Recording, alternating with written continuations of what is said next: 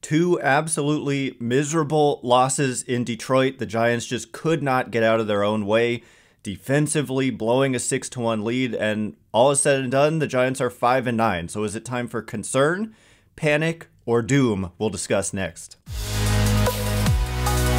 You are Locked On Giants, your daily San Francisco Giants podcast, part of the Locked On Podcast Network. Your team every day.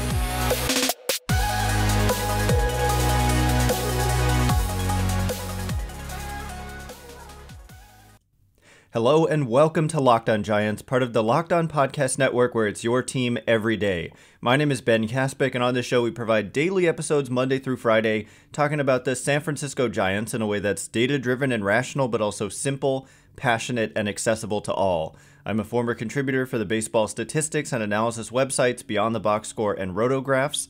I've been podcasting about the Giants since 2015, and I'm a lifelong fan. Thank you for making Locked On Giants your first listen every day. We're free and available wherever you get podcasts, including YouTube, so check us out there if you have not already and hit that subscribe button if you're watching on YouTube. Today's episode is brought to you by Ultimate Baseball GM. Ever dreamed of becoming an MLB GM and managing your baseball franchise?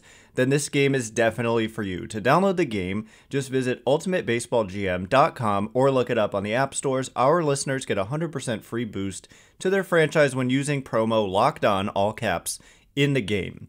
And coming up on today's show, the Giants don't get a win in Detroit.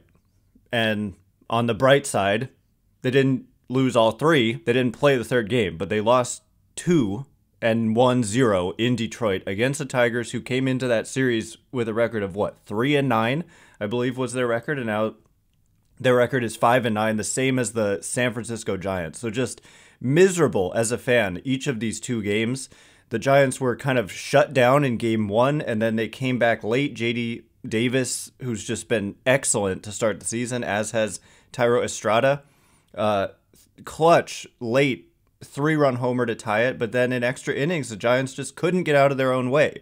They, David Villar with just an unbelievably inexplicable, just poor decision like I've never seen before. Uh, tying run automatically on second base, extra innings. He's playing second base though, and there's a like somewhat high chopper to second, and instead instead of just taking the out at first, he throws to third where he just had no chance to get the runner, and so then you know everybody's safe. He throws to third, runner safe, and then the batter is safe, and that's the winning run. And so Camilo Doval, kind of in a heroic effort does get a couple of strikeouts to keep that tying run on third, but on a 3-0 count with two outs, he gives up a three-run homer. Uh, but he really had to get four outs. I mean, he he got three outs in the inning, and so the game should have been over. And then so just devastation there with the being one out away from winning, and then you give up a three-run homer, and then in the next game, the Giants are up six to one, and Tony DeSclafani had an excellent start. So if you were to tell me that the Giants scored six runs in the first three innings of that game, and they got an excellent start out of DeSclafani, I would tell you the odds of winning were 95% or higher, which is what, you know, according to Baseball Savant, that was the Giants' win probability in that second game was like 95%, which is they had the same kind of win probability in that loss to the Kansas City Royals when they led 5 to 1. So you know, in 14 games this year, the Giants have blown a 5 to 1 lead to the Royals and a 6 to 1 lead to the Tigers. And so those are games like the probability suggests at 95 plus percent that you should you could go a whole season and not lose either of those games. And so for the Giants to lose twice in those circumstances is just unacceptable. And you know, this time it was like Brandon Crawford making poor defensive plays, made clearly three errors. He was only charged with two, but there was one that was just routine routine and it was whiffed on and ruled a hit for some reason. But he made three errors in this game, in my opinion.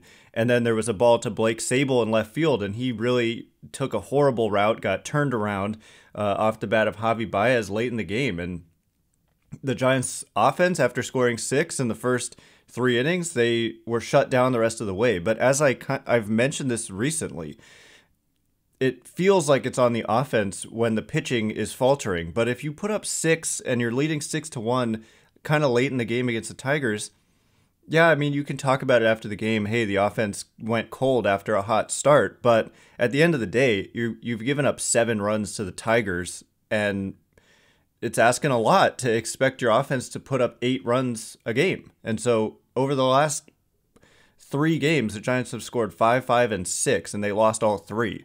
And they've they've allowed on average eight runs a game in those three. 10, 7, and seven. And so uh, and also in extra innings, the Giants just had a really they played four extra innings, the tenth and eleventh in both games, and they only managed what one run in those four innings when they had a free runner on second base to start the inning. And so again, like these are just they they just didn't execute when they needed to, and the result is that they're five and nine. And so, like I said, is it time for concern? Is it time for panic? or is it time for doom? It's definitely one of the three. It's not time for like I mean, it there's there are still reasons to be optimistic. A lot of the set stuff I've been talking about is still true in that the offense, I know it's been inconsistent, but that's kind of true for any team. I bet you uh, Giants have been more inconsistent than most, I would say, but also overall offensively, they've done a fine job. And if you look at where they rank in a bunch of categories, they rank highly. And then defensively, outside of these last couple games, they actually had done a really good job. But the Villar mistake, it's like when they played bad defense, it was supremely costly. And then, I mean, the bullpen has been a disaster, but overall, the uh, the pitching, like a lot of the numbers suggest that it should be better, and it will be better. I mean, the some of the stuff we're seeing is just not going to last, like out of Stripling and Taylor Rogers. So concern panic, or doom, I'm going to put I'm going to pick one of those three and and back it up with some some facts hopefully that support the point and we'll get into that in just a minute. But before we do, this episode is brought to you by Ultimate Baseball GM, which is my new favorite game. Have you ever dreamed of becoming an MLB GM? I know it was my dream for a long time actually. And it's so great to have Ultimate Baseball GM because I'm able to put those skills to the test. And it's not as easy as you might think. You've got to hire the right coaches and staff, manage team finances, scout and draft players, manage difficult personalities, clubhouse chemistry, injuries, navigating your franchise through free agency and the ups and downs of a season. Very realistic, just like, you know, Farhan Zaidi. You've got to you've got to manage a lot of things, and as Farhan Zaidi may be finding out, it's not as easy as you might think. So, Locked On Giants listeners get a 100% free boost to their franchise when using the promo Locked On in the game store. So make sure to check it out. To download the game, just visit probaseballgm.com, scan the code, or look it up on the app stores. That's probaseballgm.com, Ultimate Baseball GM. Start your dynasty today. All right, as promised, concern, panic, or doom over the Giants' 5 and 9 start. It's one of the worst records in the National League right now. Uh, the Rockies have a worse record, the Nationals have a worse record, and that's it. The Giants come in 13th in the National League out of the 15 teams in terms of their record. But their run differential is minus six, which is not third worst. You're looking at across the league, there's, you know, the Rockies are at minus 27, and run differential is just simply runs scored minus runs allowed. So the Giants have only been outscored by six runs on the season. And, you know, the Rockies have been outscored by 27. The Nationals have been outscored by 20. The Phillies have been outscored by 16. And how about this? The Marlins, where the Giants go now, have been outscored by 26 runs, and yet they have a 500 record. And so, run differential is actually more predictive of kind of future performance than your record, especially in a small sample. Uh, and so it's concern, panic, or doom. I'm at concern. I'm not at panic, and I'm certainly not at doom. And I'm at, like I said, I'm going to kind of use some facts to back this up, not just, you know, winging it, but just to give some examples. The let's look at last year the Giants started off 13 and 5. I feel like a lot of people forget that. They were coming off a 107 win season and then they started 13 and 5, which is fantastic. I mean, you look at the Braves right now are 12 and 4. I think it's the best record in the National League. Yeah, 12 and 4. And so in order in order to achieve 13 and 5, the Braves would go 1 and 1. Like that's how hot the Giants started off. Was 13 and 5 and they ended up 81 and 81. So not, you know, being 13 and 5 was not very predictive of what was to come for the Giants. And so I just looked around the league uh, at some of the other records for some other teams at that same time when the Giants were 13 and 5, and we find just tons of examples. I could only fit so many in a tweet, and I included the ones I found most prominent, but there were, you know, like half the teams basically, their early season record didn't really have anything to do with what their final record ended up being. And so here are some examples. The Baltimore Orioles were 6 and 11 and they ended up over 500 at 83 and 79 not necessarily the best example because they called up, you know, some prospects late in the year. I mean, Adley Rutschman, did he just debut in the middle of last year, I think?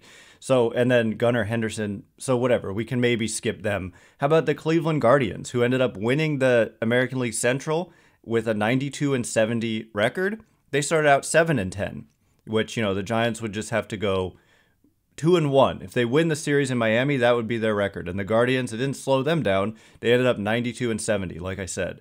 Atlanta started out last year 8 and 10, and they ended up winning 101 games, 101 and 61.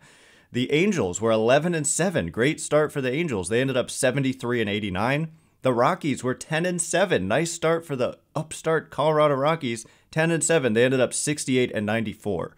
And so this is even more games than we're looking at now when we're looking at the Giants have played 14 games. This here is like another, you know, three. It's like after the Marlins series. Let's see where the Giants stand.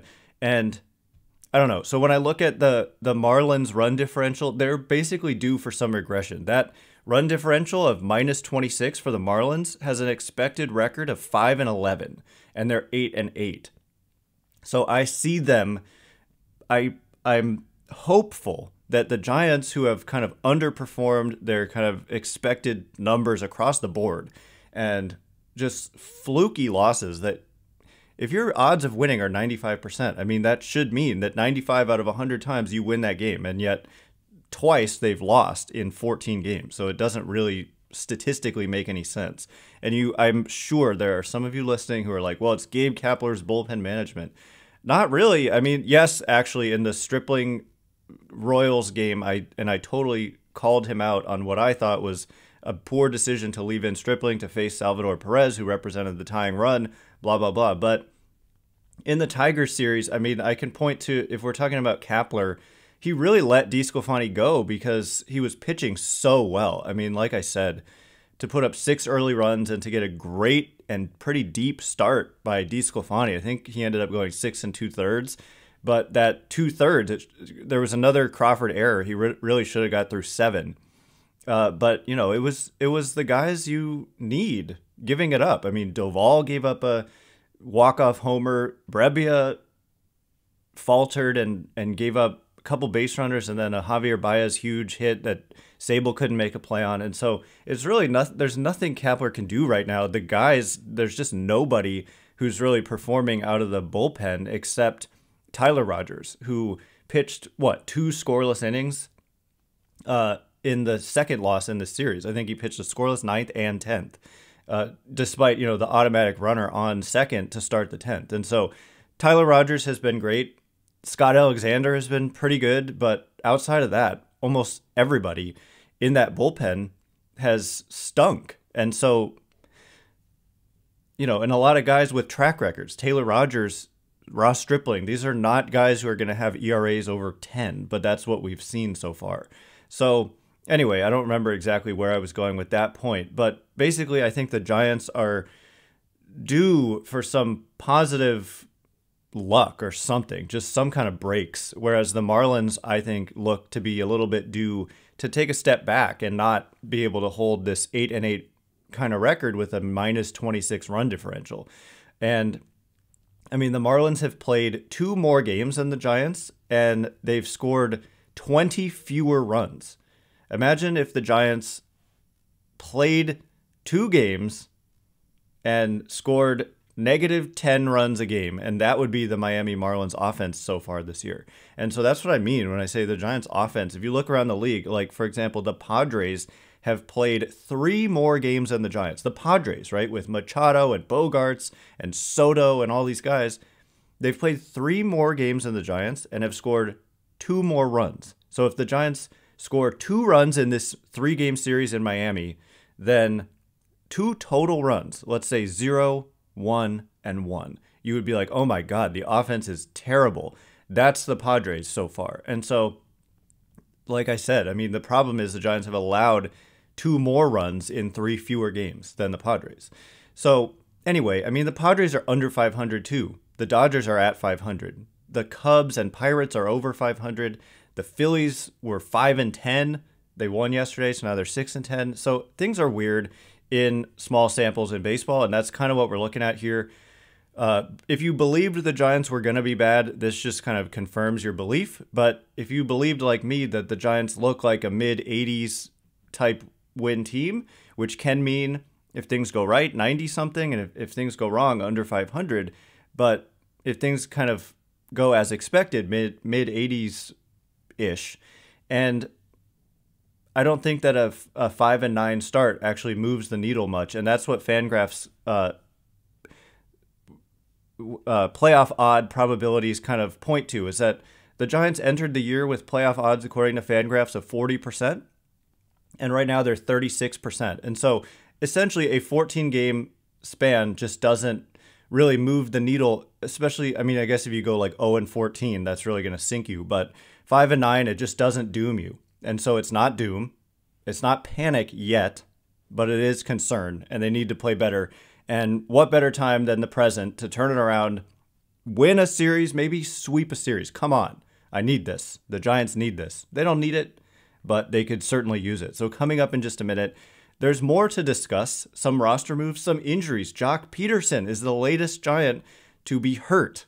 And so we'll discuss the ramifications on the roster and how maybe having the day off yesterday with the rain out might actually work in the Giants' benefit. So we'll get into that in just a minute. But before we do, this episode is brought to you by Sorare. Our new sponsor, Sorare, is a revolutionary fantasy baseball game and marketplace transforming fans into owners with officially licensed digital cards featuring players from across all 30 MLB teams.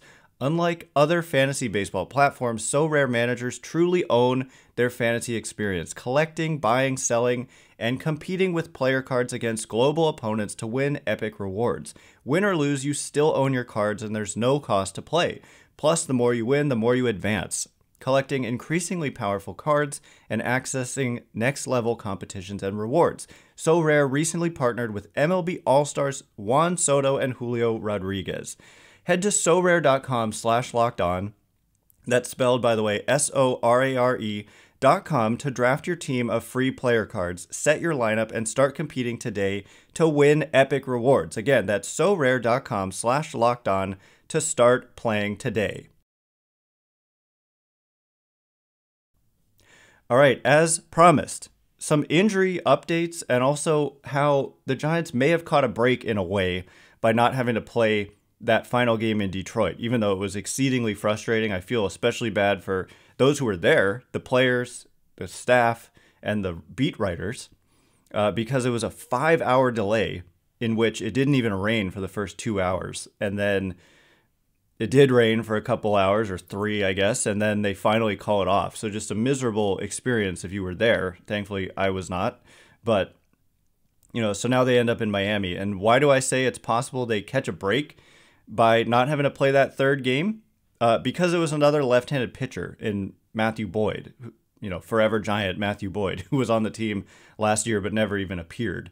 And they traded him to the Mariners with Kirk Sally for somebody. I can't remember who, but uh, uh, the Giants have struggled against left-handed pitching. There's just no doubt, and it's kind of odd because you look at who have been their best players right now, and it's J.D. Davis and Thairo Estrada who are right-handed, and you're able, you know, it's not like their lineup against left-handed pitching is horrible, but without Mitch Haniger and without Austin Slater, they're forced to have some lefties in that lineup against left-handed pitching. Like in yesterday's lineup, which did come out, but they never played.